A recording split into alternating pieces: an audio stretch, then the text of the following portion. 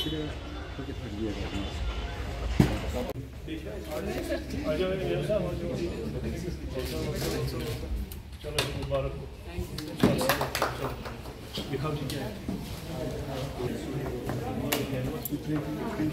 प्रशिक्षण है फैंटेसी अच्छे होते हैं हमारी फैंटेसी काफ़ी क्रिएटिव होती है हम एंजल्स के बारे में सोचते हैं फैंटेसी आर्ट है इसमें मैं ये दिखाना वालेकुम जनाब आप ठीक हैं? हम काफ़ी कन्वेंशनल पेंटिंग्स करते हैं ट्रेडिशनल पेंटिंग्स करते हैं। बट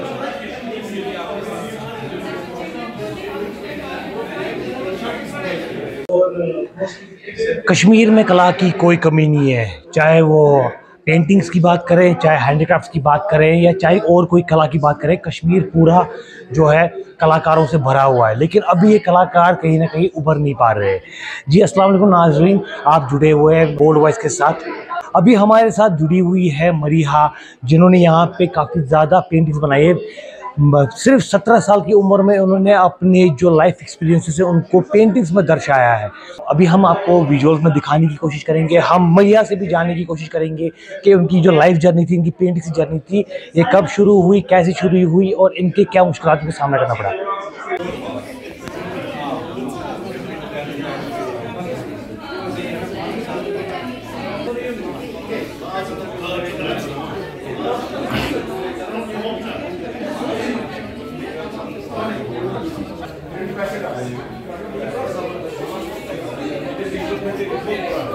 कि हमारा काम ही है ये जो है टैलेंट को उभारना टैलेंट को पॉलिश करना, उनको प्लेटफॉर्म देना, हमारा ये इनिशिएटिव बड़े टाइम से चल रहा है, नो यूर आर्टिसन तो उसमें जो एस्टेब्लिश आर्टिसन जहाँ अपना जो है शोकेस करते हैं अपना काम, वही ये भी ज़रूरी है कि छोटे बच्चों को इनक्रेज करें, क्योंकि आगे जाके they will hold the batter तो this is in that direction तो काफ़ी अच्छा काम है और इस यंग एज में इतना जो है इतनी क्रिएटिविटी और इतनी जो है, नफासियत से इन्होंने ये पेंटिंग्स बनाई है।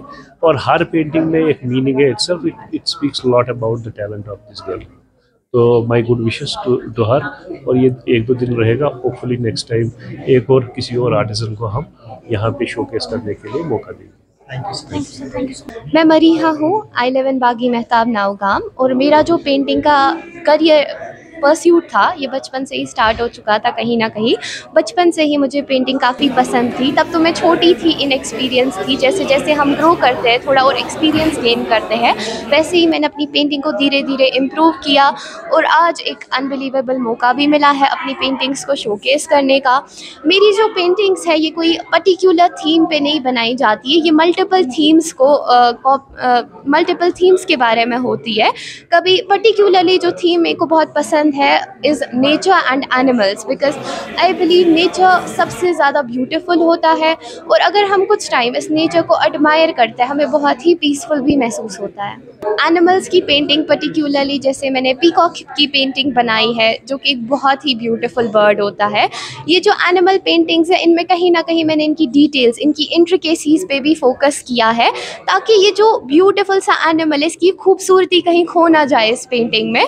और मैं चाहती हूँ कि इसको देख के आप भी ये सोचने सोचें कि मतलब कितना खूबसूरत नेचर है और कैसे कुदरत ने इतनी ब्यूटीफुल चीज़ें बनाई हैं। सवाल है जो आपकी जर्नी घर से लेकर यहाँ तक एग्जिबिशन तक इस जर्नी में वो कितनी मुश्किल आई और आपकी किस तरह मुश्किल तो आती है हर किसी की ज़िंदगी में होती है। मेरे लिए भी मुश्किल सबसे बड़ी मुश्किल थी कि अपनी स्टडीज़ को और पेंटिंग को मैनेज करना ये एक डिफ़िकल्ट टास्क होता है।